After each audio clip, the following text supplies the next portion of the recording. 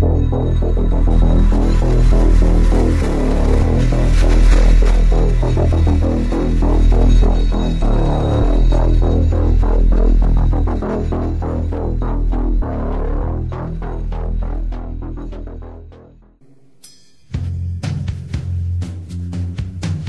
name is Nassine Sabs. Let me ask you a question. Has anything ever happened to you that you couldn't explain? That made you feel sort of foolish when you tried to tell somebody about it? Well, if it has, you have plenty of company, as you'll soon see. We interrupt your regularly scheduled power-up with breaking news that zombies from Plants vs. Zombies are on the loose. We are urging people to stay calm and stay inside their homes. The Plants vs. Zombies zombies are slow, lumbering, and fall apart easily, but there are hundreds of them. All of these zombies will be making the URGH noise. We suggest stocking up on plants now if you can. Now, back to your regularly scheduled program. But you know what they say, if you can't beat them, you join them.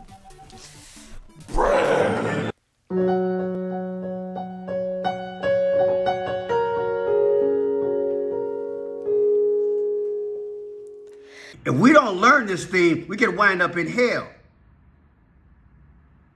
You know why? Because it deceived Adam and Eve and a whole civilization. Satan's coming back with his best stuff. The lotus flower is returning back in our time. It's going to be hard for folks to recognize it, that things do season and cycle, but the book of Ecclesiastes says, ain't nothing new under the sun, which means it comes back again. And it's here. They did it before. They know what gods come out of the lotus flower. They know what they worshiped back in the day. And God did what? He destroyed these systems. And he's going to destroy the one they're bringing up today. It ain't got no joy in it. It's hell. It's from the pit of hell. We got to talk like that. I went to Pentecostal church. I went to charismatic church. We get down like that. These are devils. Speak to them. To the Almighty Ra, the Sun God, the sustainer of life on planet Earth. You hear this guy? Sun God, the sustainer of, of life on planet Earth. You see that? See how they do it? Listen to him. As the Almighty Ra, the Sun God, the sustainer of life on planet Earth. Code. The chlorophyll mixes with the light. And that's why we have the greens and the blues. See, that's why all this matchup. See this here? Akhenaten. That's the Akhenaten. 10th ruler of the 18th dynasty. Akhenaten. Yeah. Bringing up the sun god getting is pairing up with the, the Akhenaten. It's all coming back. I never spell it right. Let me see if I can spell it right. Sun God and Akhenaten. Turn the speaker off. Sun God. You might not give it to me. Uh, Akhenaten. Here it is here. Thank God it's in my history. This is the beast you got to look for. This is the beast.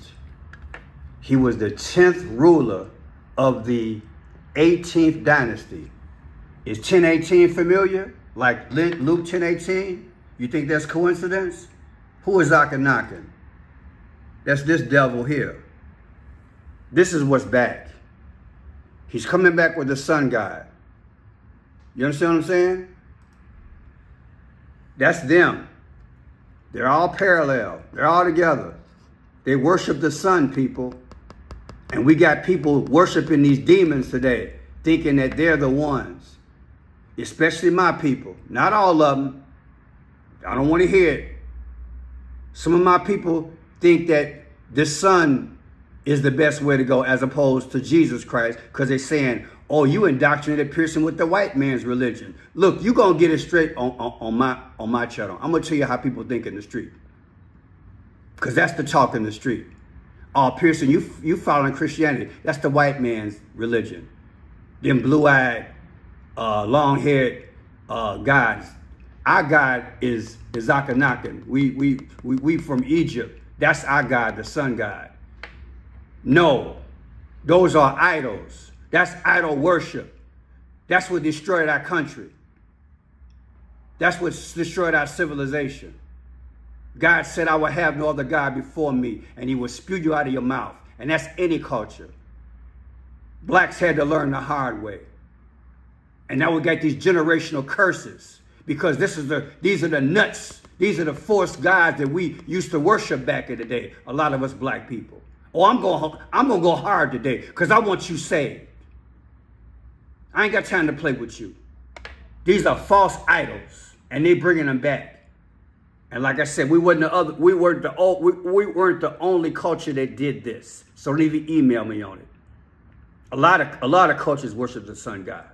But the originality of it, it looked like it came out of Egypt to me. But I don't care where it originated from.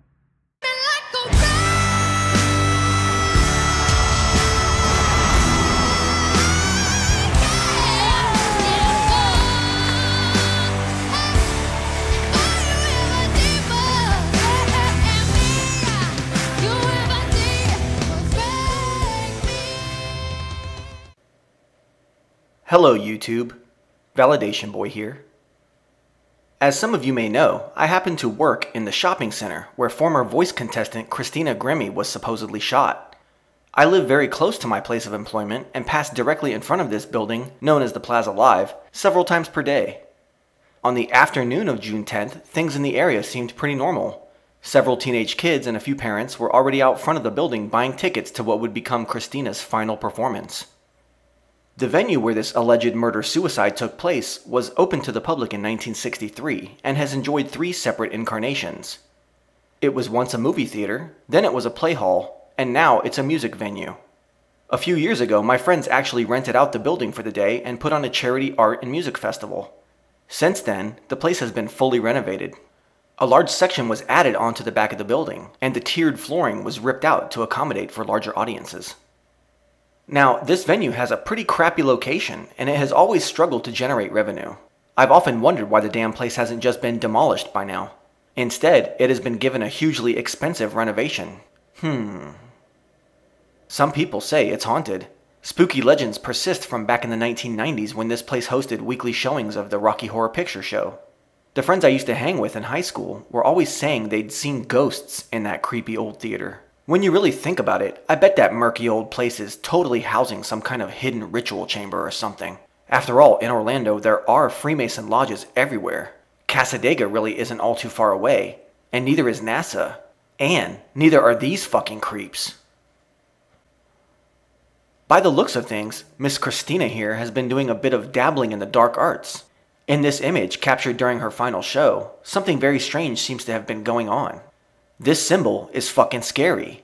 And oh, and by the way, too, I didn't mention they are three brothers. So you, we have three members of the Brotherhood. I'm not saying they're members; they're Disney, they're Disney band too. You know. So first, let's get into this sigil really quick and sigil magic. Now, the reason this is sigil magic is because this symbol now represents them. They're using it as their logo, as did Prince. So that's that's automatically how you automatically consider it sigil magic. Now, um, the guy goes on to say about how they knew what it meant. They knew it meant phosphorus. Um, and phosphorus, if you don't know, is uh, Lucifer. It is Lucifer is the light bringer. Um, so the phosphorus is the the real uh, alchemical word, and this is the symbol. And then they just enclosed it in a circle to finalize their sigil. Uh, another one you should notice too that also means phosphorus. Look at this one right here. The light bringer, Lucifer, the morning star. What's that remind you of? A church right there in their steeple. How many churches do you see that have almost that exact same look from the front? Um, the Invictus Games happened literally a month before in Orlando and connected to Disney. But look at this. I'm going to go real close because I know I'm going long, but I got to teach. They, the Roman Empire revived a cult in 274 AD. They revived the cult of the Sol Invictus. God of the Sun. When Joe Biden says the soul of America, which soul is he talking about? You tell me.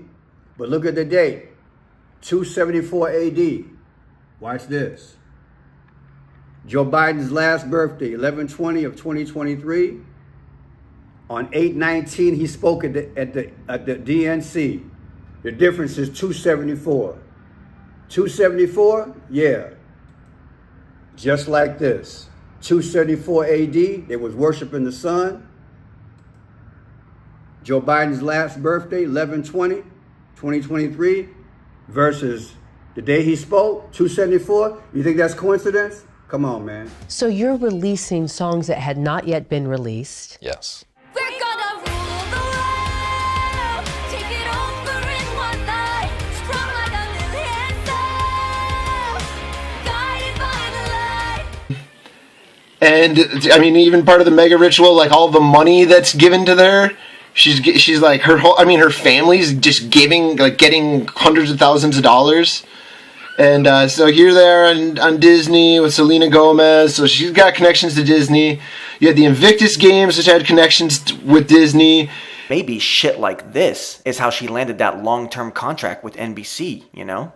And on top of all this, one of her best friends in the industry just so happens to be Selena Gomez, who, of course, got her big break starring in a Disney Channel children's sitcom about the life of a sociopathic teenage black magic sorceress. Very suspect indeed. Just talking over you. I'm terrible. It's okay. You do me. Wait, I have. I can't see it. I'm gonna. Yeah, I just can't hear. we did a little cover together a couple months ago, or like a month ago, of a guy named James Blair. Do you guys know who James Blair is? He is amazing. We're gonna do that right now. You guys ready? Can you help us sing it nice and loud?